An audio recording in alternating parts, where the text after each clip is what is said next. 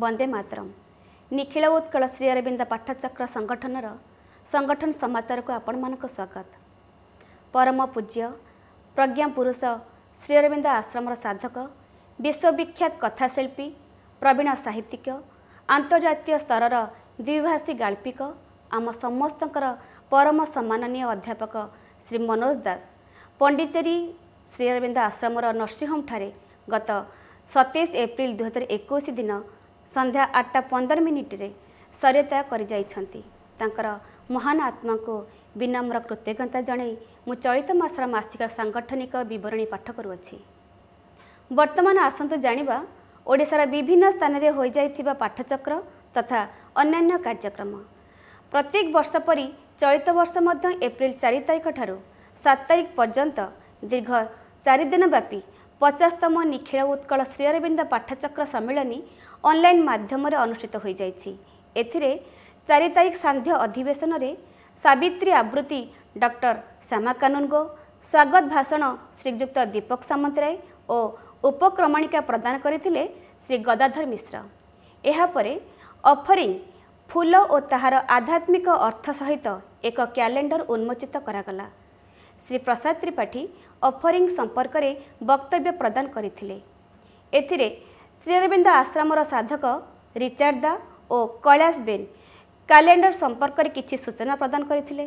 April ପାଞ୍ଚରୁ ସାତ ତାରିଖ ପର୍ଯ୍ୟନ୍ତ ପ୍ରତ୍ୟେକ ଦିନ ପୂର୍ବାହ୍ନ ଅଧିବେଶନମାନଙ୍କରେ ଶ୍ରୀ ଅରବିନ୍ଦଙ୍କ ଲିଖିତ ଭାରତୀୟ ସଂସ୍କୃତିର ଆଧାର ପୁସ୍ତକରୁ ଧର୍ମ ଓ ଆଧ୍ୟାତ୍ମିକତା ବିଷୟରେ ଆଲୋଚନା କରାଯାଇଥିଲା। ଏଥିରେ ଡକ୍ଟର ଆଲୋକ ପାଣ୍ଡେ ବ୍ରଜମୋହନ ବେହେରା ଜନ୍ମେଜ ଦ୍ୱିବେଦୀ ମହେନ୍ଦ୍ରନାଥ ସ୍ୱାଇଁ ଭବେଶ କୁମାର ସାହୁ ଡକ୍ଟର ଦେବୀଦତ୍ତ କର ଡକ୍ଟର ସୌଦାମିନୀ ନନ୍ଦ ସୁପ୍ରକାଶ ଚୌଧୁରୀ ସୁପ୍ରଭା ଚୌଧୁରୀ ପ୍ରଭାକର ମିଶ୍ର ରଞ୍ଜିତ ଦାସ ଧରଣୀଧର ପାଲ ମମତା ଦାସ ଗୋଲକ ବିହାରୀ ସାହୁ ରୀତା ଚାନ୍ଦ ଶାନ୍ତି ନାୟକ ଗୟାଧର ଦାସ ପ୍ରକାଶ ଚନ୍ଦ୍ର ପଣ୍ଡା ସଙ୍ଗୀତା ପଟ୍ଟନାୟକ ସୁଭାଷ ଚନ୍ଦ୍ର କର ଭାଗୀରଥୀ ମହାପାତ୍ର ପ୍ରଶାନ୍ତ କୁମାର ସ୍ୱାଇଁ ଶେଖ୍ ଅବଦୁଲ କାସମ ରାଧାକାନ୍ତ ମିଶ୍ର ରମେଶ ଚନ୍ଦ୍ର ସାହୁ ସନ୍ତୋଷ ଗାହାଣ ଓ ସଞ୍ଜୟ କୁମାର ମହାପାତ୍ର ଆଲୋଚନା କରିଥିଲେ ଏବଂ ଏହାକୁ ଉପସଂହାର କରିଥିଲେ ଡକ୍ଟର ଆଲୋକ ପାଣ୍ଡେ। ସେହିଭଳି ସାନ୍ଧ୍ୟ ଅଧିବେଶନରେ to the our infinite gratitude ସମ୍ପର୍କରେ ଡକ୍ଟର ଆଲୋକ ପାଣ୍ଡେ ପ୍ରଫେସର ବିଶ୍ୱନାଥ ରାୟ ଓ ଡକ୍ଟର ଅର୍ଚ୍ଚନା ନାୟକ ଆଲୋଚନା କରିଥିଲେ। ଦ ସନଲିଡ୍ ପାଥ୍ ସମ୍ପର୍କରେ ଡକ୍ଟର ଆଲୋକ ପାଣ୍ଡେ ପ୍ରଫେସର ବିଶ୍ୱନାଥ ରାୟ ଓ କପିଳାସ ଦାସ ଆଲୋଚନା କରିଥିଲେ।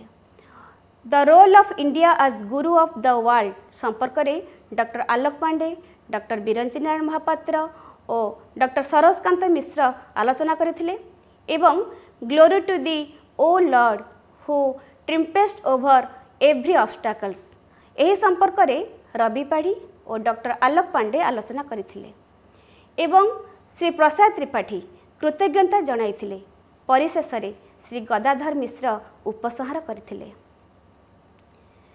ଆସ୍ପୃହା ଜୋନ୍ର ଜିଲ୍ଲାଗୁଡ଼ିକରେ ହେଉଥିବା କାର୍ଯ୍ୟକ୍ରମ।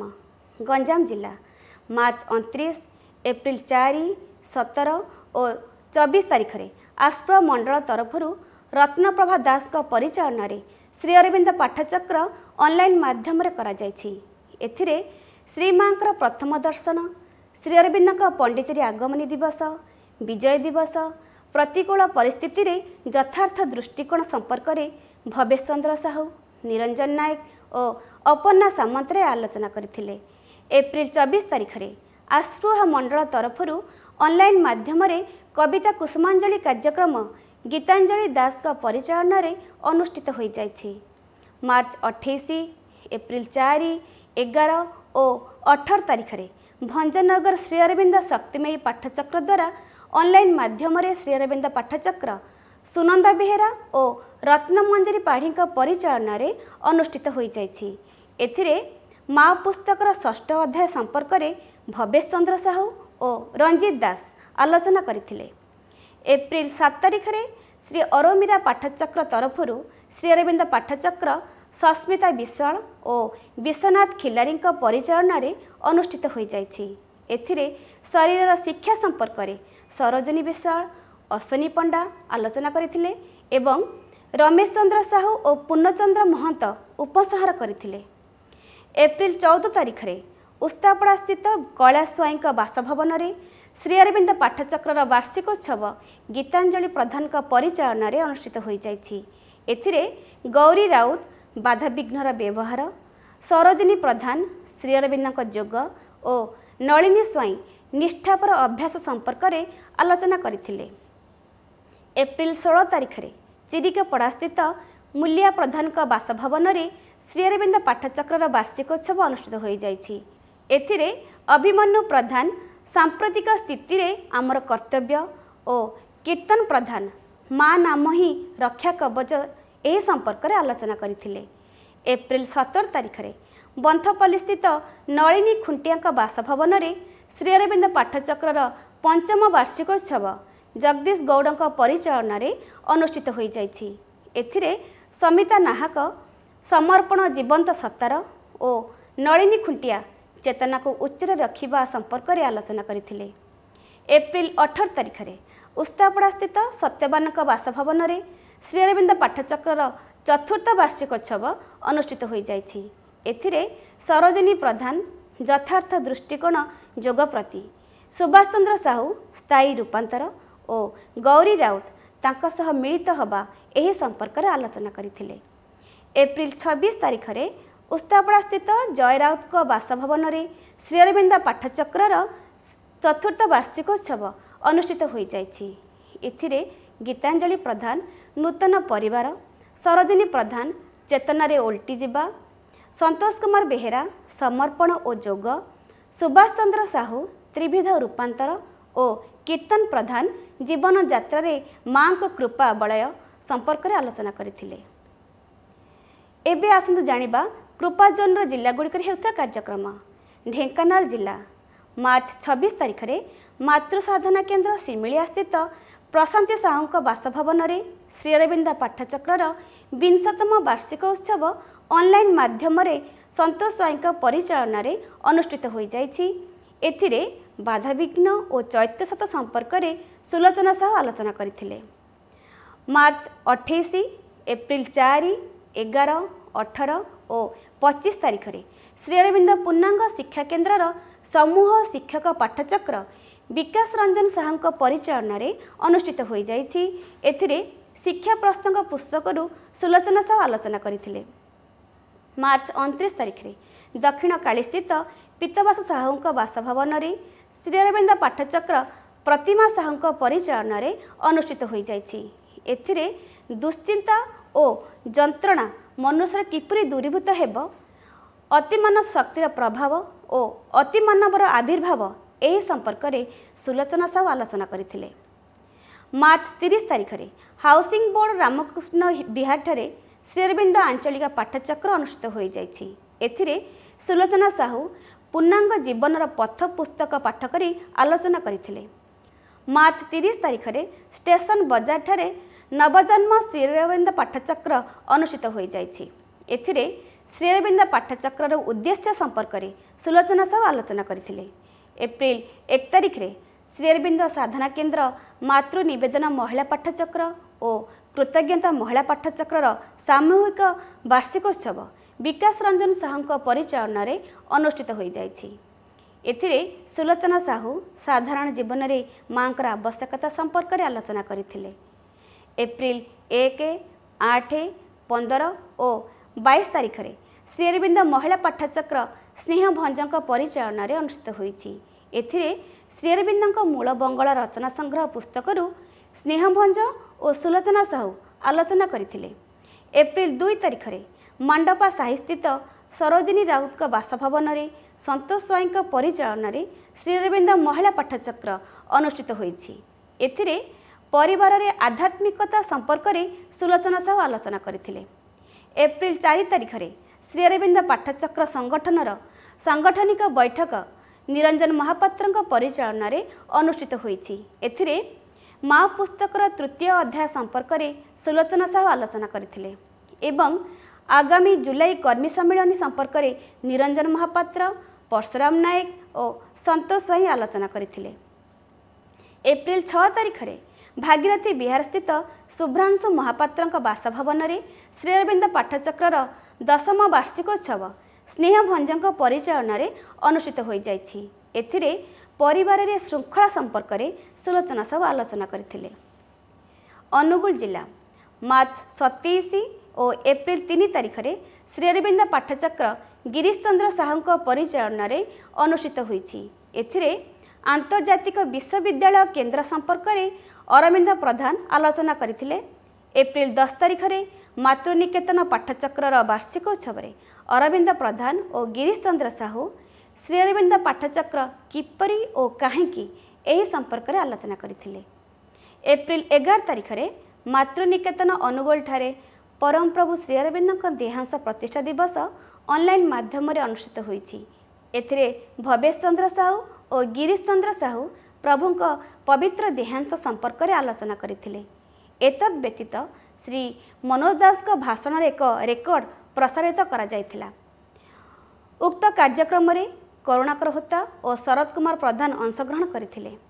ଏପ୍ରିଲ ସତର ତାରିଖରେ ମାତୃକୃପା ଶ୍ରୀଅରବିନ୍ଦ ପାଠଚକ୍ର ଅନୁଗୁଳ ତରଫରୁ ଅନଲାଇନ୍ ମାଧ୍ୟମରେ ଶ୍ରୀଅରବିନ୍ଦ ପାଠଚକ୍ର ଗିରିଶ ଚନ୍ଦ୍ର ସାହୁଙ୍କ ପରିଚାଳନାରେ ଅନୁଷ୍ଠିତ ହୋଇଯାଇଛି। ଏଥିରେ ଚତୁର୍ବିଧ ତପସ୍ୟା ଓ ଚତୁର୍ବିଧ ମୁକ୍ତି ସମ୍ପର୍କରେ ବବିତା ଦାସ ଆଲୋଚନା କରିଥିଲେ। ସଂଗତି ଜୋନ୍ର ଜିଲ୍ଲାଗୁଡ଼ିକରେ ହୋଇଥିବା କାର୍ଯ୍ୟକ୍ରମ।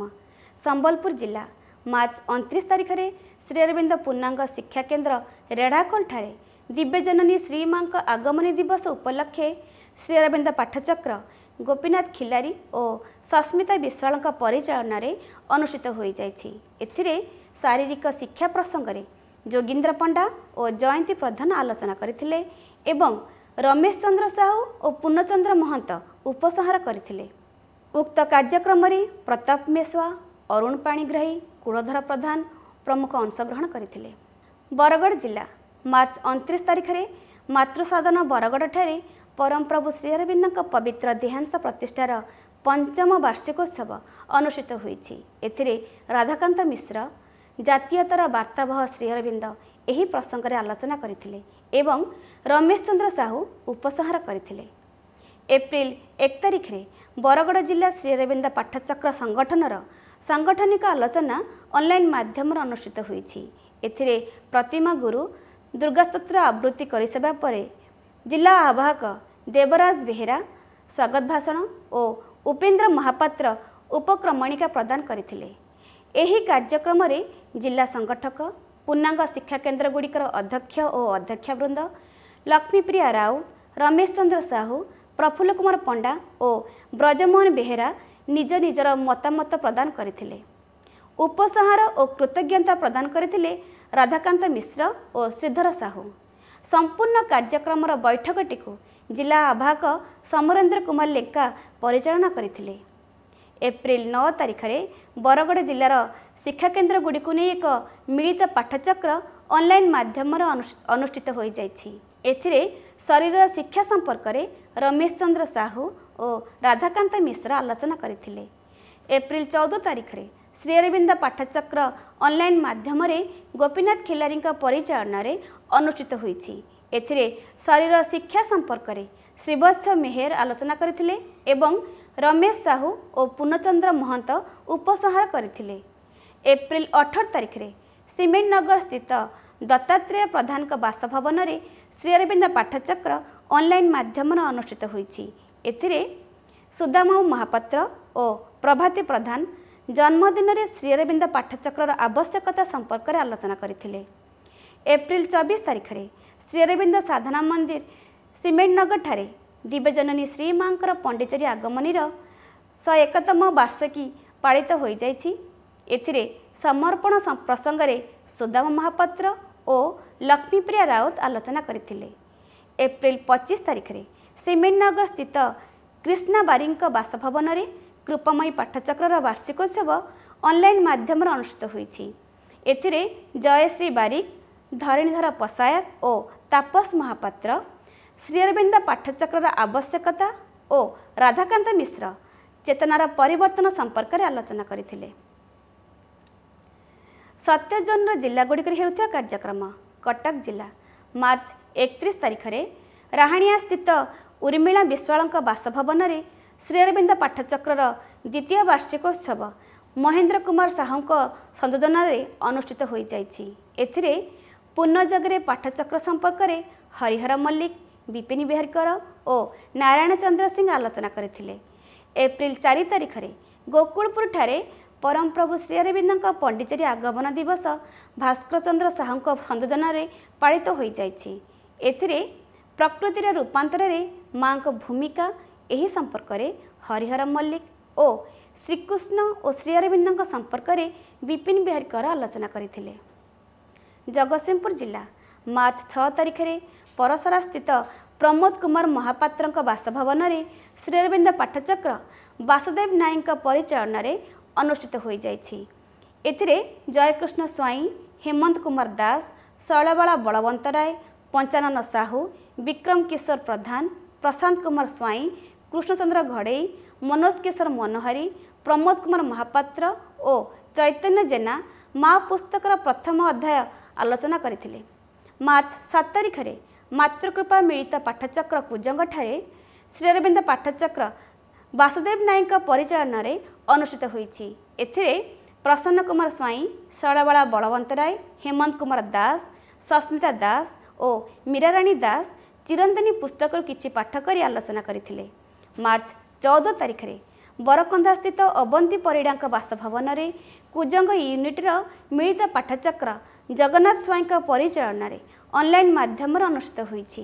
ଏଥିରେ ମାଗୁଣୀ ଚରଣ ଦାସ ରାକେଶ କୁମାର ମହାନ୍ତି ଓ ଅନ୍ନପୂର୍ଣ୍ଣା ସାମନ୍ତରାୟ ଯୋଗାଧାର ପୁସ୍ତକରୁ ଆଲୋଚନା କରିଥିଲେ। ମାର୍ଚ୍ଚ ଏକୋଇଶରୁ ତେଇଶ ପର୍ଯ୍ୟନ୍ତ ଅରମିରା ଦିବ୍ୟଜ୍ୟୋତି ଆଶ୍ରମ ତିର୍ତ୍ତୋଲଠାରେ ଶ୍ରୀଅରବିନ୍ଦ ପାଠଚକ୍ର ଶିବିର ବାସୁଦେବ ନାୟକ ମନୋଜ କିଶୋର ମନୋହାରୀ ଶୈଳବାଳା ବଳବନ୍ତ ରାୟ ତପନ କୁମାର ସ୍ୱାଇଁଙ୍କ ପରିଚାଳନାରେ ଅନୁଷ୍ଠିତ ହୋଇଛି। ଏଥିରେ ପୃଥିବୀ ପୃଷ୍ଠରେ ଶ୍ରୀଅରବିନ୍ଦଙ୍କ ମାନବ ଶରୀର ଧାରଣ କରିବା ଉଦ୍ଦେଶ୍ୟ ଦିବ୍ୟଯୁଗ ସ୍ଥାପନରେ ନାରୀ ଓ ଅତିମାନସର ରୂପାନ୍ତର ସମ୍ପର୍କରେ ଶୈଳବାଳା ବଳବନ୍ତ ରାୟ ପଞ୍ଚାନନ ସାହୁ କୃଷ୍ଣଚନ୍ଦ୍ର ଘଡ଼େଇ ହେମନ୍ତ କୁମାର ଦାସ ମନୋଜ ମନୋହାରୀ ଅନୁସୟା ନନ୍ଦ ସର୍ବେଶ୍ୱର ମହାପାତ୍ର ଜଗନ୍ନାଥ ସ୍ୱାଇଁ ବିକାଶ ରଞ୍ଜନ ପ୍ରଧାନ ସବିତା ଓଝା ସସ୍ମିତା ଦାସ ମୀରାରାଣୀ ପ୍ରଭୁଚରଣ ଦାସ ଚୈତନ୍ୟ କୁମାର ଜେନା ବାସୁଦେବ ନାୟକ ଓ ପ୍ରକାଶ ଚନ୍ଦ୍ର ପଣ୍ଡା ଆଲୋଚନା କରିଥିଲେ।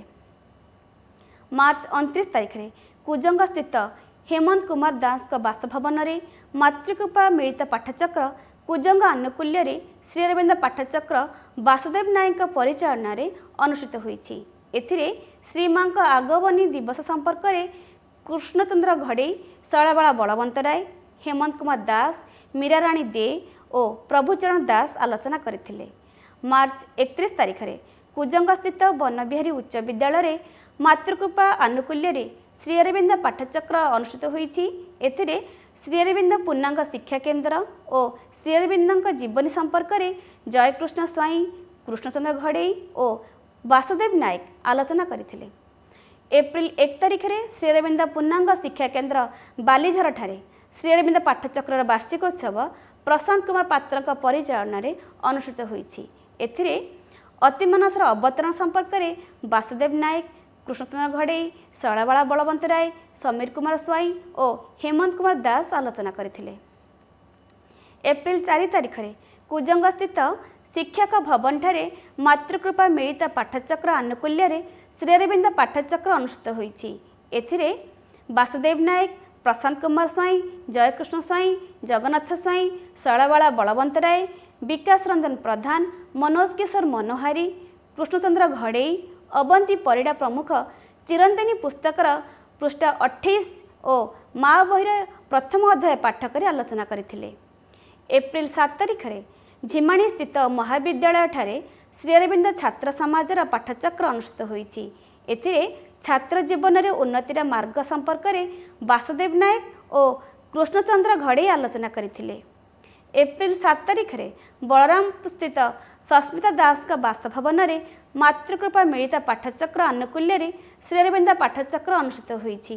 ଏଥିରେ ଜନ୍ମଦିବସ ଓ ମା ପୁସ୍ତକର ପ୍ରଥମ ଭାଗ ସମ୍ପର୍କରେ ବାସୁଦେବ ନାୟକ କୃଷ୍ଣଚନ୍ଦ୍ର ଘଡ଼େଇ ଶୈଳବାଳା ବଳବନ୍ତ ରାୟ ବିକାଶ ରଞ୍ଜନ ପ୍ରଧାନ ସୁଧାଂଶେଖର ଦାସ ଅବନ୍ତୀ ପରିଡ଼ା ଓ ପଞ୍ଚାନନ ସାହୁ ଆଲୋଚନା କରିଥିଲେ। ଏପ୍ରିଲ ଆଠ ତାରିଖରେ ଖୁରୁସିଆ ସ୍ଥିତ ରବୀନ୍ଦ୍ର କୁମାର ସୂତାରଙ୍କ ବାସଭବନରେ ଶ୍ରୀ ଅରବିନ୍ଦ ପାଠଚକ୍ର ସର୍ବେଶ୍ୱର ମହାପାତ୍ରଙ୍କ ପରିଚାଳନାରେ ଅନୁଷ୍ଠିତ ହୋଇଯାଇଛି। ଏଥିରେ ମୃତ୍ୟୁ ସମ୍ପର୍କରେ କପିଳେନ୍ଦ୍ର ମିଶ୍ର କୃଷ୍ଣଚନ୍ଦ୍ର ଘଡ଼େଇ ପଞ୍ଚନନ ସାହୁ ଓ ରବୀନ୍ଦ୍ର କୁମାର ସୂତାର ଆଲୋଚନା କରିଥିଲେ। ଏପ୍ରିଲ ବାର ତାରିଖରେ ଶ୍ରୀ ଅରବିନ୍ଦ ପୂର୍ଣ୍ଣାଙ୍ଗ ଶିକ୍ଷାକେନ୍ଦ୍ର ତୁଳଙ୍ଗ ପରିସରରେ ପରମପ୍ରଭୁ ଶ୍ରୀ ଅରବିନ୍ଦଙ୍କ ଦେହାଂଶ ପ୍ରତିଷ୍ଠାର ବାର୍ଷିକୋତ୍ସବ ସୁରେନ୍ଦ୍ର ଦାସଙ୍କ ପରିଚାଳନାରେ ଅନୁଷ୍ଠିତ ହୋଇଛି। ଏଥିରେ ଶ୍ରୀ ଅରବିନ୍ଦଙ୍କ ଦେହାଂଶ ସମ୍ପର୍କରେ ବାସୁଦେବ ନାୟକ ପଞ୍ଚନନ ସାହୁ ଶୈଳବାଳା ବଳବନ୍ତ ରାୟ କେଶବ ଚନ୍ଦ୍ର ଦଳେଇ ପାର୍ବତୀ ମହାନ୍ତି ବିଭୁଚରଣ ପରିଡ଼ା ସୁଧାଂଶୁ ଶେଖର ତରାଇ ପ୍ରମୁଖ ଆଲୋଚନା କରିଥିଲେ। ଏପ୍ରିଲ ଚଉଦ ତାରିଖରେ ବଳରାମପୁର ସ୍ଥିତ ନିରୁପମା ନାୟକଙ୍କ ବାସଭବନରେ ଶ୍ରୀ ଅରବିନ୍ଦ ପାଠଚକ୍ର ଅନୁଷ୍ଠିତ ହୋଇଛି ଏଥିରେ ବାସୁଦେବ ନାୟକ ନିରୁପମା ନାୟକ ଆଶ୍ରିତ ନାୟକ ଚରଣ ସ୍ୱାଇଁ ଓ ଜଗନମୋହନ ନାୟକ ଅଂଶଗ୍ରହଣ କରିଥିଲେ। ଯାଜପୁର ଜିଲ୍ଲା ମାର୍ଚ୍ଚ ଅଠେଇଶ ତାରିଖରେ ଶ୍ରୀ ଅରବିନ୍ଦ ବିକାଶ ଚକ୍ର ଶକୁନ୍ତଳାପୁରର ବାର୍ଷିକୋତ୍ସବ ଅଶୋକ କୁମାର ମହାନ୍ତିଙ୍କ ପରିଚାଳନାରେ ଅନୁଷ୍ଠିତ ହୋଇଛି। ଏଥିରେ ସୁକାନ୍ତ କୁମାର ବେହେରା ବଂଶୀଧର ରାଉତ ନିରଞ୍ଜନ ସେଣ୍ଡ ଓ ସରୋଜିନୀ ପଢ଼ିଆରୀ ଅଂଶଗ୍ରହଣ କରିଥିଲେ ଏବଂ ପ୍ରକାଶ କୁମାର ବେହେରା ବାର୍ଷିକ ବିବରଣୀ ପ୍ରଦାନ କରିଥିଲେ। ମାର୍ଚ୍ଚ ଏକତିରିଶ ତାରିଖରେ ତରାପୁର ସ୍ଥିତ ତ୍ରିଲୋଚନ ପଣ୍ଡାଙ୍କ ବାସଭବନରେ ଦିବ୍ୟଜ୍ୟୋତି ପାଠଚକ୍ରର ବାର୍ଷିକ ଦିବସ ସସ୍ମିତା ପୋଥାଳଙ୍କ ପରିଚାଳନାରେ ଅନୁଷ୍ଠିତ ହୋଇଛି। ଏଥିରେ ଶ୍ରୀ ଅରବିନ୍ଦ ପାଠଚକ୍ରର ଭୂମିକା ସମ୍ପର୍କରେ ଆଲୋଚନା କରିଥିଲେ ନିରୁପମା ନାୟକ ଓ କୁମୁଦିନୀ ସ୍ୱାଇଁ। ମାର୍ଚ୍ଚ ଅଣତିରିଶ ଏପ୍ରିଲ ପାଞ୍ଚ ବାର ଓ ଉଣେଇଶ ତାରିଖରେ। ଅନଲାଇନ୍ ମାଧ୍ୟମରେ ଶ୍ରୀ ଅରବିନ୍ଦ ପାଠଚକ୍ର କୈଳାସ ଚନ୍ଦ୍ର କୁଁୱର ଓ ଅରୁଣ କୁମାର ସାହୁଙ୍କ ସଂଯୋଜନାରେ ଅନୁଷ୍ଠିତ ହୋଇଯାଇଛି। ଏଥିରେ ପ୍ରାଣିକ ଶିକ୍ଷା ଓ ମନସ୍ତରୀୟ ଶିକ୍ଷା ସମ୍ପର୍କରେ ବନମାଳୀ ଆଚାର୍ଯ୍ୟ ଆଲୋଚନା କରିଥିଲେ। ଏପ୍ରିଲ ଏକ ତାରିଖରେ ବେଲାରପୁର ସ୍ଥିତ ତନ୍ମୟ ସାହୁଙ୍କ ବାସଭବନରେ ଶ୍ରୀ ଅରବିନ୍ଦ ପାଠଚକ୍ରର ବାର୍ଷିକୋତ୍ସବ କହ୍ନେଇଚରଣ ପୃଷ୍ଟିଙ୍କ ପରିଚାଳନାରେ ଅନୁଷ୍ଠିତ ହୋଇଯାଇଛି। ଏଥିରେ ଚୈତ୍ୟଶତ ସମ୍ପର୍କରେ ଆନନ୍ଦ ଚନ୍ଦ୍ର ମହାନ୍ତି ଆଲୋଚନା କରିଥିଲେ। ଏପ୍ରିଲ ଚବିଶ ତାରିଖରେ ଓସଳାଠାରେ ଶ୍ରୀ ଅରବିନ୍ଦ ପାଠଚକ୍ର ମଦନ ମୋହନ ଖଣ୍ଡାଇଙ୍କ ପରିଚାଳନାରେ ଅନୁଷ୍ଠିତ ହୋଇଯାଇଛି। ଏଥିରେ ଅନାଦିଚରଣ ସ୍ୱାଇଁ ଜୀବନରେ ଶ୍ରୀ ଅରବିନ୍ଦଙ୍କ ଯୋଗର ଅଭ୍ୟାସ ଏହି ସମ୍ପର୍କରେ ଆଲୋଚନା କରିଥିଲେ। କେନ୍ଦ୍ରାପଡ଼ା ଜିଲ୍ଲା ମାର୍ଚ୍ଚ ସତେଇଶ ତାରିଖରେ ଦଶମାଣକୂଳ ସ୍ଥିତ ଦେବେନ୍ଦ୍ରନାଥ କରଙ୍କ ବାସଭବନରେ ଶ୍ରୀ ଅରବିନ୍ଦ ପାଠଚକ୍ରର ଦ୍ୱିତୀୟ ବାର୍ଷିକୋତ୍ସବ ଜଗନମୋହନ ସ୍ୱାଇଁଙ୍କ ପରିଚାଳନାରେ ଅନୁଷ୍ଠିତ ହୋଇଯାଇଛି। ଏଥିରେ ସ୍ୱାମୀ ଚିଦାନନ୍ଦ ବ୍ରହ୍ମଚାରୀ ପଞ୍ଚାନନ ସାହୁ ମାଗୁଣୀଚରଣ ଦାସ ଆରତୀ ତ୍ରିପାଠୀ ଓ ସର୍ବେଶ୍ୱର ମହାପାତ୍ର ଜନ୍ମଦିନର ତାତ୍ପର୍ଯ୍ୟ ସମ୍ପର୍କରେ ଆଲୋଚନା କରିଥିଲେ। ମାର୍ଚ୍ଚ ସତେଇଶ ତାରିଖରେ ଛନ୍ଦାସ୍ଥିତ ଗଣେଶ ପ୍ରସାଦ ମହାରଥୀଙ୍କ ବାସଭବନରେ ଶ୍ରୀଅରବିନ୍ଦ ପାଠଚକ୍ର ଅନୁଷ୍ଠିତ ହୋଇଯାଇଛି। ଏଥିରେ ଜଗନମୋହନ ସ୍ୱାଇଁ ଅଭୟ ମହାରଥୀ କାହ୍ନୁଚରଣ ବାରିକ ଘନଶ୍ୟାମ ସ୍ୱାଇଁ ସମୀର ସ୍ୱାଇଁ ଶଙ୍ଖାଳୀ ବାରିକ ଅଜିତ ମହାପାତ୍ର ପ୍ରମୁଖ ଅଂଶଗ୍ରହଣ କରିଥିଲେ। ମାର୍ଚ୍ଚ ଅଠେଇଶ ତାରିଖରେ ହଳଧରପୁର ସ୍ଥିତ ମଧୁସୂଦନ ଶତପଥୀଙ୍କ ବାସଭବନରେ କେନ୍ଦ୍ରାପଡ଼ା ୟୁନିଟ୍ର ମିଳିତ ପାଠଚକ୍ର ମଳୟ କୁମାର ଜେନାଙ୍କ ପରିଚାଳନାରେ ଅନୁଷ୍ଠିତ ହୋଇଯାଇଛି।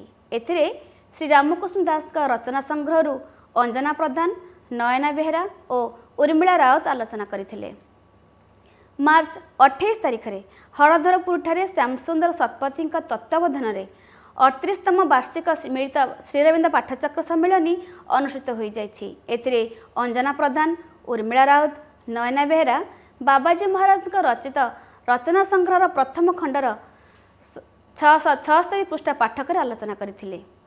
ଉକ୍ତ କାର୍ଯ୍ୟକ୍ରମରେ ରବିନାରାୟଣ ଦାସଙ୍କ ଦ୍ୱାରା ବିବରଣୀ ପାଠ କରାଯାଇଥିଲା ଏପ୍ରିଲ ଏକ ତାରିଖରେ କେନ୍ଦ୍ରାପଡ଼ା ସ୍ଥିତ ଲକ୍ଷ୍ମୀଧର ପାତ୍ରଙ୍କ ବାସଭବନରେ ଶ୍ରୀରବିନ୍ଦ ପାଠଚକ୍ରର ବତିଶତମ ବାର୍ଷିକୋତ୍ସବ ଶୈଳବାଳା ମହାପାତ୍ରଙ୍କ ପରିଚାଳନାରେ ଅନୁଷ୍ଠିତ ହୋଇଯାଇଛି ଏଥିରେ ଯଥାର୍ଥ କର୍ମ ପ୍ରସଙ୍ଗରେ ଚିତ୍ତରଞ୍ଜନ ଦାସ ନୟନା ବେହେରା ଅଞ୍ଜନା ପ୍ରଧାନ ଓ ଲକ୍ଷ୍ମୀଧର ପାତ୍ର ଆଲୋଚନା କରିଥିଲେ ଏଥିରେ ଏପ୍ରିଲ ଚାରି ଏହି ଦିବସର ମହତ୍ତ୍ୱ ସମ୍ପର୍କରେ ସୁଭଦ୍ରା ରାଉତ ସୁବାସ ରାଉତ ନୀଳମଣି ବାଇ ଓ ମନୋରଞ୍ଜନ ସାହୁ ଆଲୋଚନା କରିଥିଲେ। ଏପ୍ରିଲ ଆଠ ତାରିଖରେ ଖୁରୁସିଆ ସ୍ଥିତ ରବୀନ୍ଦ୍ରନାଥ ସୁତାରଙ୍କ ବାସଭବନରେ ଶ୍ରୀଅରବିନ୍ଦ ପାଠଚକ୍ର ସର୍ବେଶ୍ୱର ମହାପାତ୍ରଙ୍କ ପରିଚାଳନାରେ ଅନୁଷ୍ଠିତ ହୋଇଯାଇଛି। ଏଥିରେ କପିଳେନ୍ଦ୍ର ମିଶ୍ର କୃଷ୍ଣଚନ୍ଦ୍ର ଘଡ଼େଇ ଓ ପଞ୍ଚାନନ ସାହୁ ଅଂଶଗ୍ରହଣ କରିଥିଲେ। ଏପ୍ରିଲ ଏଗାର ତାରିଖରେ କରିଲୋ ପାଟଣାସ୍ଥିତ ଅନାମଚରଣ ପଟ୍ଟନାୟକଙ୍କ ବାସଭବନରେ ଶ୍ରୀଅରବିନ୍ଦ ପାଠଚକ୍ରର ଏକାଦଶତମ ବାର୍ଷିକୋତ୍ସବ ବଙ୍କିମଚନ୍ଦ୍ର ପ୍ରଧାନଙ୍କ ପରିଚାଳନାରେ ଅନୁଷ୍ଠିତ ହୋଇଛି। ଏଥିରେ ଶ୍ରୀଅରବିନ୍ଦଙ୍କ ଯୋଗର ଆବଶ୍ୟକତା ସମ୍ପର୍କରେ ଅଞ୍ଜନା ପ୍ରଧାନ ନୟନା ବେହେରା ମଳୟ କୁମାର ଜେନା ଓ ପୀତାମ୍ବର ମଲ୍ଲ ଆଲୋଚନା କରିଥିଲେ। ଏପ୍ରିଲ ବାର ତାରିଖରେ ପଟ୍ଟାମୁଣ୍ଡାଇ ସ୍ଥିତ ଅରମିରା ଭବନର ଚବିଶତମ ବାର୍ଷିକୋତ୍ସବ ଅନୁଷ୍ଠିତ ହୋଇଛି।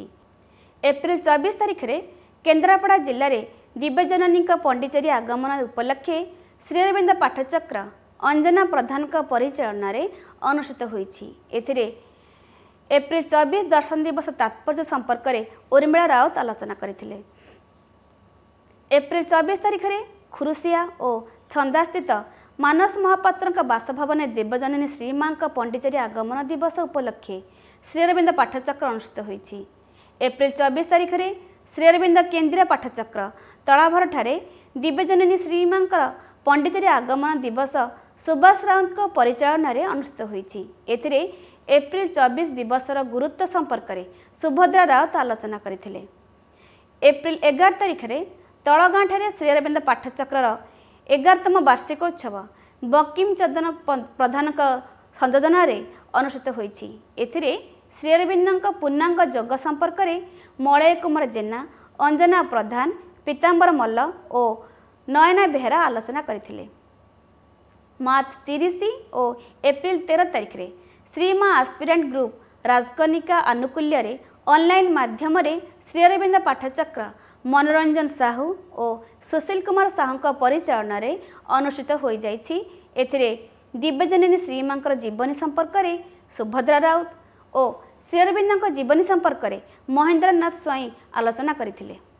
ଏବେ ଆସନ୍ତୁ ଜାଣିବା ଆସ୍ଥା ଜୋନ୍ର ଜିଲ୍ଲାଗୁଡ଼ିକରେ ହେଉଥିବା କାର୍ଯ୍ୟକ୍ରମ। ବାଲେଶ୍ୱର ଜିଲ୍ଲା ଏପ୍ରିଲ ପାଞ୍ଚ ତାରିଖରେ ମେଦିନୀପୁର ସ୍ଥିତ ପ୍ରଭାକର ବେହେରାଙ୍କ ବାସଭବନରେ ଶ୍ରୀଅରବିନ୍ଦ ପାଠଚକ୍ରର ବାର୍ଷିକୋତ୍ସବ ଅନୁଷ୍ଠିତ ହୋଇଯାଇଛି। ଏଥିରେ ମାଆର ଚରଣତଳ ସମ୍ପର୍କରେ ଲକ୍ଷ୍ମଣ ସେନାପତି ଅର୍ଚ୍ଚନା ସାମଲ ଓ ଧୀରେନ୍ଦ୍ର ପ୍ରଧାନ ଆଲୋଚନା କରିଥିଲେ। ଏପ୍ରିଲ ନଅ ତାରିଖରେ ସେକବାଡ଼ ସ୍ଥିତ ଜଳେଶ୍ୱର ସ୍ଥିତ ଗୋପବନ୍ଧୁ ଶିକ୍ଷା ସଦନର ବାର୍ଷିକୋତ୍ସବ ଅନୁଷ୍ଠିତ ହୋଇଯାଇଛି। ଏଥିରେ ଅତିମାନ ସମ୍ପର୍କରେ ଅନାଦିଚରଣ ସ୍ୱାଇଁ ଆଲୋଚନା କରିଥିଲେ। ଏପ୍ରିଲ ଦଶ ତାରିଖରେ ଶାନ୍ତିଆ ସ୍ଥିତ ଯୋଗ ମନ୍ଦିରଠାରେ ଶ୍ରୀଅରବିନ୍ଦଙ୍କ ଦେହାଂଶ ପ୍ରତିଷ୍ଠାର ଉଣେଇଶତମ ବାର୍ଷିକୋତ୍ସବ ଲଳିତ ରଞ୍ଜନ ସେନାପତିଙ୍କ ସଭାପତିତ୍ୱରେ ଅନୁଷ୍ଠିତ ହୋଇଯାଇଛି। ଏଥିରେ ଶ୍ରୀଅରବିନ୍ଦଙ୍କ ଦେହାଂଶ ପ୍ରତିଷ୍ଠାର ମହତ୍ଵ ସମ୍ପର୍କରେ ଅନାଦିଚରଣ ସ୍ୱାଇଁ ଓ ସଂଯୁକ୍ତା ପ୍ରଧାନ ଆଲୋଚନା କରିଥିଲେ। ଏପ୍ରିଲ ଷୋହଳ ତାରିଖରେ ବର୍ତ୍ତନାସ୍ଥିତ ନନୀଗୋପାଳ ବେହେରାଙ୍କ ବାସଭବନରେ ଶ୍ରୀଅରବିନ୍ଦ ପାଠଚକ୍ରର ବାର୍ଷିକୋତ୍ସବ ଅନୁଷ୍ଠିତ ହୋଇଛି। ଏଥିରେ ଦିବ୍ୟଜନନୀଙ୍କର ଦିବ୍ୟ ଆଗମନ ସମ୍ପର୍କରେ ଆଲୋଚନା କରାଯାଇଥିଲା। ଏପ୍ରିଲ ତିନି ତାରିଖରେ ପ୍ରାର୍ଥନା ଗ୍ରୁପର ଅନଲାଇନ୍ ମାଧ୍ୟମରେ ଶ୍ରୀଅରବିନ୍ଦ ପାଠଚକ୍ର ତାପସ କୁମାର ପାତ୍ରଙ୍କ ପରିଚାଳନାରେ ଅନୁଷ୍ଠିତ ହୋଇଛି। ଏଥିରେ ଶ୍ରୀଅରବିନ୍ଦ ପୂର୍ଣ୍ଣାଙ୍ଗ ଶିକ୍ଷା କେନ୍ଦ୍ର ରୂପାନ୍ତର ଯୋଗର ଭିତ୍ତିଭୂମି ଓ ଶିକ୍ଷା ସମ୍ପର୍କରେ ସୁଶାନ୍ତ ଭୋଇ କରୁଣାକର ବିଶ୍ୱାଳ ଆଲୋଚନା କରିଥିଲେ ଏବଂ ଦୟାନିଧି ପାତ୍ର ଉପସଂହାର କରିଥିଲେ। ଏପ୍ରିଲ ଚାରି ତାରିଖରେ ଅରଜ୍ୟୋତି ମାଣତ୍ରୀ ସୋରଠାରେ ଶ୍ରୀଅରବିନ୍ଦ ପାଠଚକ୍ର ଅନୁଷ୍ଠିତ ହୋଇଛି। ଏଥିରେ କମଳାକାନ୍ତ ବେହେରା ପରଶୁରାମ ନାୟକ ସୁକାନ୍ତି ଲେଙ୍କା ଚିରନ୍ତିନୀ ପୁସ୍ତକ ପାଠ କରି ଆଲୋଚନା କରିଥିଲେ ଓ ଜଗନ୍ନାଥ ପୃଷ୍ଟି ମାତୃ ରଚନାବଳୀ ଚଉଦ ଖଣ୍ଡ ଆଲୋଚନା କରିଥିଲେ। ଏପ୍ରିଲ ଏଗାର ତାରିଖରେ ଶ୍ରୀଅରବିନ୍ଦ ପୂର୍ଣ୍ଣାଙ୍ଗ ଶିକ୍ଷା କେନ୍ଦ୍ର ନରସିଂହନଗରଠାରେ ଚେତନାର ଅଭିଯାନର ଶ୍ରୀଅରବିନ୍ଦ ପାଠଚକ୍ର ଅନୁଷ୍ଠିତ ହୋଇଯାଇଛି। ଏଥିରେ ଜଗନ୍ନାଥ ପୃଷ୍ଟି ମାତୃ ରଚନାବଳୀ ଚଉଦ ଖଣ୍ଡ ପୁସ୍ତକ ପାଠ କରି ଆଲୋଚନା କରିଥିଲେ। ଏପ୍ରିଲ ତେର ତାରିଖରେ ମାତୃ ସାଧନା କେନ୍ଦ୍ର ରଘୁନାଥପୁର ସୋରଠାରେ ପରମପ୍ରଭୁ ଶ୍ରୀଅରବିନ୍ଦଙ୍କ ଦେହାଂଶ ପ୍ରତିଷ୍ଠାର ପଚିଶତମ ବାର୍ଷିକୋତ୍ସବ ଜୟକୃଷ୍ଣ ସାହୁ ଜୟକୃଷ୍ଣ ସାହୁଙ୍କ ସଭାପତିତ୍ୱରେ ଅନୁଷ୍ଠିତ ହୋଇଯାଇଛି। ଏଥିରେ ପ୍ରଭୁଙ୍କ ଦେହାଂଶ ପ୍ରତିଷ୍ଠାର ଉଦ୍ଦେଶ୍ୟ ସମ୍ପର୍କରେ ପ୍ରଭାକର ଜେନା ଓ ଶ୍ରୀଅରବିନ୍ଦ ଆଶ୍ରମର ଲକ୍ଷ୍ୟ ଏବଂ ଦେହାଂଶ ପ୍ରତିଷ୍ଠାର ଉଦ୍ଦେଶ୍ୟ ସମ୍ପର୍କରେ ଚନ୍ଦନ ସେଠୀ ଆଲୋଚନା କରିଥିଲେ। ଏପ୍ରିଲ ପଚିଶ ତାରିଖରେ ଜିଲ୍ଲାସ୍ତରୀୟ ସାଂଗଠନିକ ବୈଠକ ଅନଲାଇନ୍ ମାଧ୍ୟମରେ ଅନୁଷ୍ଠିତ ହୋଇଛି। ଏଥିରେ ଆତ୍ମା ହିଁ ପ୍ରଭୁ ପ୍ରବେଗମାନଙ୍କୁ ସଂଯତ କର ଓ ଚତୁର୍ବିଧ ତପସ୍ୟା ସମ୍ପର୍କରେ ଆଲୋଚନା କରାଯାଇଥିଲା। ଏପ୍ରିଲ ପଚିଶ ତାରିଖରେ ରାଧାବଲ୍ଲଭପୁର ସ୍ଥିତ ଧ୍ରୁବଚରଣ ଘୋଡ଼ାଙ୍କ ବାସଭବନରେ ଚେତନାର ଅଭିଯାନ ଶ୍ରୀଅରବିନ୍ଦ ପାଠଚକ୍ର ଅନୁଷ୍ଠିତ ହୋଇଛି। ଏଥିରେ ଚନ୍ଦନ ସେଠୀ ମାତୃ ରଚନାବଳୀ ଚଉଦ ଖଣ୍ଡ ପୁସ୍ତକ ପାଠ କରି ଆଲୋଚନା କରିଥିଲେ। ଭଦ୍ରକ ଜିଲ୍ଲା ଏପ୍ରିଲ ଦଶ ତାରିଖରେ ଶ୍ରୀଅରବିନ୍ଦ ଦିବ୍ୟ ଜୀବନ ଶିକ୍ଷା କେନ୍ଦ୍ର ରଇପୁରର ଦ୍ୱାଦଶତମ ପ୍ରତିଷ୍ଠା ଦିବସ ଉପଲକ୍ଷେ ଶ୍ରୀଅରବିନ୍ଦ ପାଠଚକ୍ର ପଦ୍ମନାଭ ଜେନାଙ୍କ ପରିଚାଳନାରେ ଅନୁଷ୍ଠିତ ହୋଇଯାଇଛି। ଏଥିରେ ପୂର୍ଣ୍ଣାଙ୍ଗ ଶିକ୍ଷା କେନ୍ଦ୍ର ଓ ଅଭିଭାବକମାନଙ୍କ ମଧ୍ୟରେ ସମ୍ପର୍କ। ଏହି ବିଷୟରେ ଦେବଦତ୍ତ ନାୟକ ଗଣେଶ ଚନ୍ଦ୍ର ବାଇ ନକୁଳ ଚନ୍ଦ୍ର ଦାସ ନଟବର ନାୟକ ଓ କୈଳାସ ଚନ୍ଦ୍ର ନାୟକ ଆଲୋଚନା କରିଥିଲେ। ଏପ୍ରିଲ ଦଶ ତାରିଖରେ ସାବରଙ୍ଗ ବଜାରସ୍ଥିତ ଶାହାବରଡ଼ା ଗ୍ରାମରେ ନୂତନ କରି ଶ୍ରୀଅରବିନ୍ଦ ପାଠଚକ୍ର ଅନନ୍ତ ସାମନ୍ତଙ୍କ ପରିଚାଳନାରେ ଅନୁଷ୍ଠିତ ହୋଇଯାଇଛି। ଏଥିରେ ନାରାୟଣ ଅଗସ୍ତି ହୃଷିକେଶ ପଣ୍ଡା ସନ୍ଦୀପ ପୋଦାର ଅରପ୍ରିୟ ପୋଦାର ଭକ୍ତରଞ୍ଜନ ମଲ୍ଲ ସନ୍ତୋଷ ପାଢ଼ୀ ଓ ଅଶ୍ଳେଷା ସାମନ୍ତ ବର୍ତ୍ତମାନ ସମୟରେ ମାନବ ସମାଜର ଭୂମିକା ତଥା ଶ୍ରୀଅରବିନ୍ଦ ପାଠଚକ୍ରର ଆବଶ୍ୟକତା ସମ୍ପର୍କରେ ଆଲୋଚନା କରିଥିଲେ। ଶାନ୍ତି ଜୋନ୍ର ଜିଲ୍ଲାଗୁଡ଼ିକରେ ହେଉଥିବା କାର୍ଯ୍ୟକ୍ରମ।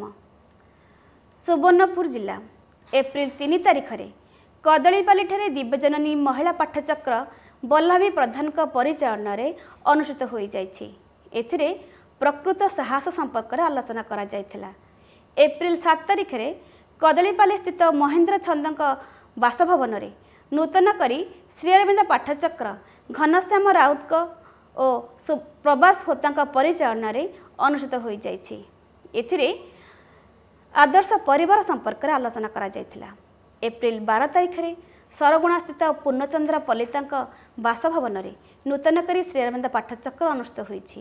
ଏଥିରେ ଶ୍ରୀଅରବିନ୍ଦ ପାଠଚକ୍ର କ'ଣ କାହିଁକି ଓ କିପରି ଏହି ସମ୍ପର୍କରେ ବଲ୍ଲଭୀ ପ୍ରଧାନ ପରଶୁରାମ ସେଠୀ ଦୟାସାଗର ପ୍ରଧାନ ଓ ଘନଶ୍ୟାମ ରାଉତ ଆଲୋଚନା କରିଥିଲେ।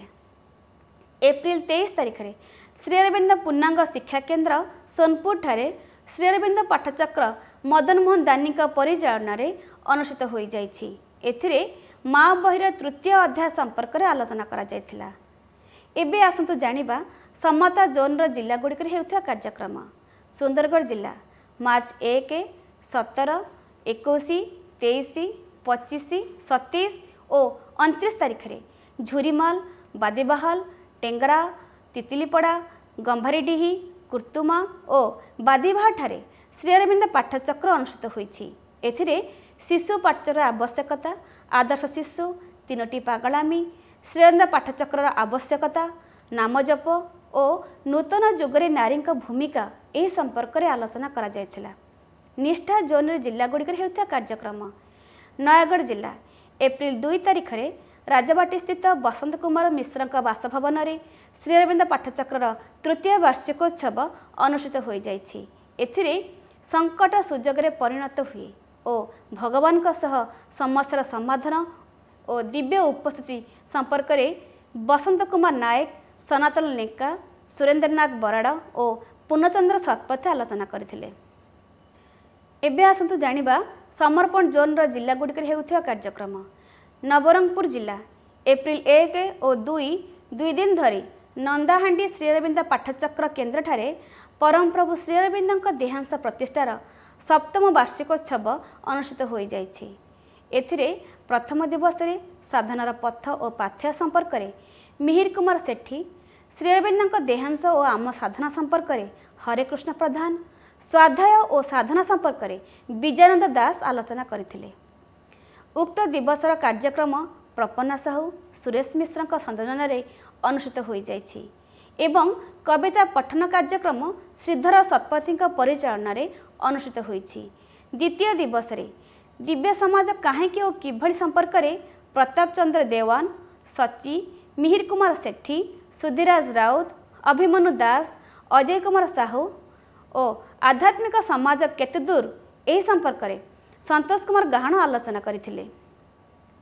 ଉକ୍ତ ଦିବସର କାର୍ଯ୍ୟକ୍ରମକୁ ଦେବେନ୍ଦ୍ର ପ୍ରସାଦ ନାୟକ ଓ ସୁରେଶ ମିଶ୍ର ସଂଯୋଜନା କରିଥିଲେ। ଏପ୍ରିଲ ଚାରି ତାରିଖରେ ଉମରକୋଟଠାରେ ପରମପ୍ରଭୁ ଶ୍ରୀଅରବିନ୍ଦଙ୍କ ପବିତ୍ର ଦେହାଂଶ ପ୍ରତିଷ୍ଠା ଦିବସର ଷଷ୍ଠ ବାର୍ଷିକୋତ୍ସବ ଅମରେନ୍ଦ୍ର ଆଚାର୍ଯ୍ୟଙ୍କ ପରିଚାଳନାରେ ଅନୁଷ୍ଠିତ ହୋଇଯାଇଛି। ଏଥିରେ ପ୍ରତାପ ଚନ୍ଦ୍ର ଦେୱାନ ଓ ସୁଧିରାଜ ରାଉତ ଅଂଶଗ୍ରହଣ କରିଥିଲେ। ପରିଶେଷରେ ଦେବେନ୍ଦ୍ର ପ୍ରସାଦ ନାୟକ କୃତଜ୍ଞତା ଜଣାଇଥିଲେ। ଉକ୍ତ କାର୍ଯ୍ୟକ୍ରମରେ ସୁରେଶ ମିଶ୍ର ସହଯୋଗ କରିଥିଲେ। ଏପ୍ରିଲ ଆଠ ତାରିଖରେ ନବରଙ୍ଗପୁର ପାଠଚକ୍ର କେନ୍ଦ୍ରଠାରେ ଶ୍ରୀଅରବିନ୍ଦ ପାଠଚକ୍ର ଅନୁଷ୍ଠିତ ହୋଇଛି। ନବଜନ୍ମ ସମ୍ପର୍କରେ ଆଲୋଚନା କରାଯାଇଥିଲା।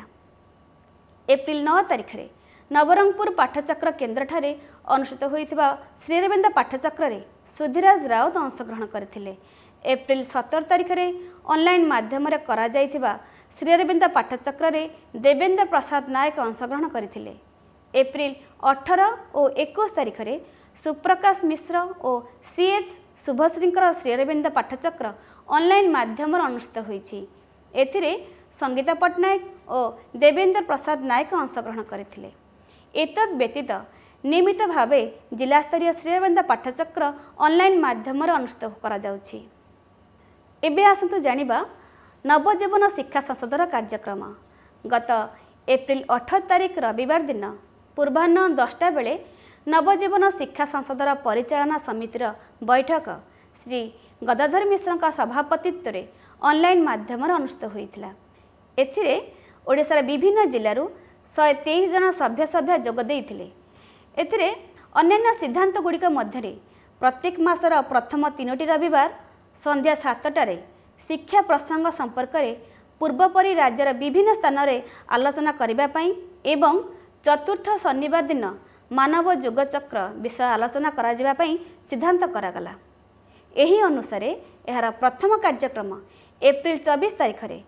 ଶନିବାର ଦିନ ସନ୍ଧ୍ୟା ସାତଟାରେ ଡକ୍ଟର ସରୋଜକାନ୍ତ ମିଶ୍ର ମାନବ ଯୋଗଚକ୍ର ପୁସ୍ତକର ଚବିଶତମ ଅଧ୍ୟାୟ ଅର୍ଥାତ୍ ଶେଷ ଅଧ୍ୟାୟକୁ ଆଲୋଚନା କରିଥିଲେ। ଏଥିରେ ସମଗ୍ର ରାଜ୍ୟର ନଅଶହ ଚଉଷଠି ଜଣ ଶ୍ରୋତା ଅନଲାଇନ୍ ମାଧ୍ୟମରେ ଯୋଗଦାନ କରିଥିଲେ। ଶ୍ରୀଅରବିନ୍ଦଙ୍କ ଶହେ ପଚାଶତମ ଜନ୍ମବାର୍ଷିକୀ ସମ୍ପର୍କୀୟ କାର୍ଯ୍ୟକ୍ରମ। ପୁରୀ ଜିଲ୍ଲା ମାର୍ଚ୍ଚ ଚଉଦ ତାରିଖରେ ପୁରୀ ଜିଲ୍ଲାର ଜିଲ୍ଲା ସଂଗଠକ ଗଙ୍ଗାଧର ମହାପାତ୍ରଙ୍କ ବାସଭବନରେ ସୁକାନ୍ତ କୁମାର ଜେନାଙ୍କ ପରିଚାଳନାରେ ଏକ ବୈଠକ ଅନୁଷ୍ଠିତ ହୋଇଛି। ଏଥିରେ ଆଗାମୀ ଅଗଷ୍ଟ ମାସରେ ପରମପ୍ରଭୁ ଶ୍ରୀଅରବିନ୍ଦଙ୍କ ଶହେ ପଚାଶତମ ଜନ୍ମବାର୍ଷିକୀ ପାଳନ ପ୍ରସଙ୍ଗରେ ଆଲୋଚନା କରାଯାଇଥିଲା। ଏଥିରେ ବିପିନାନନ୍ଦ ମିଶ୍ର ସ୍ନିଗ୍ଧା ଭଟ୍ଟାଚାର୍ଯ୍ୟ ଅମର ମହାପାତ୍ର ବେଣୁଧର ସେନାପତି ମିନତୀ ସେନାପତି ସୁରଥ ସ୍ୱାଇଁ ବିଶ୍ୱମ୍ବର ସାହୁ ଭାଗ୍ୟଲକ୍ଷ୍ମୀ ପାତ୍ର ଗଙ୍ଗୋତ୍ରୀ ପାତ୍ର ପଠାଣୀ ପ୍ରଧାନ ସାଂସଦ ପ୍ରଧାନ ଅକ୍ଷୟ ରାୟ ସିଂ ପ୍ରକାଶ କୁମାର ଜେନା ଓ ଭାଗ୍ୟଧର ସାହୁ ଯୋଗଦାନ କରିଥିଲେ। ସେହିଭଳି ବାଲେଶ୍ୱର ଜିଲ୍ଲାରେ ମଧ୍ୟ ଏପ୍ରିଲ ପଚିଶ ତାରିଖରେ ଜିଲ୍ଲାସ୍ତରୀୟ ସାଂଗଠନିକ ବୈଠକରେ ଶ୍ରୀଅରବିନ୍ଦଙ୍କ ଶହେ ପଚାଶତମ ଜନ୍ମବାର୍ଷିକୀ ପାଳନ ସମ୍ପର୍କରେ ଆଲୋଚନା କରାଯାଇଥିଲା। ସୂଚନା ଏହା ମଧ୍ୟରେ ପ୍ରସାଦ ତ୍ରିପାଠୀଙ୍କ ଦ୍ୱାରା ଲିଖିତ ଏବେ ବି ମନେ ପଡ଼େର ଦ୍ୱିତୀୟ ଭାଗ ପ୍ରକାଶ ପାଇସାରିଛି। ଏହାର ମୂଲ୍ୟ ଦୁଇଶହ ଟଙ୍କା ଏବଂ ଶ୍ରୀଅରବିନ୍ଦ ଆଶ୍ରମ ଷ୍ଟୋରରୁ କ୍ରୟ କଲେ ରିହାତି ମୂଲ୍ୟ ଶହେ ପଚାଶ ଟଙ୍କା ଧାର୍ଯ୍ୟ କରାଯାଇଛି।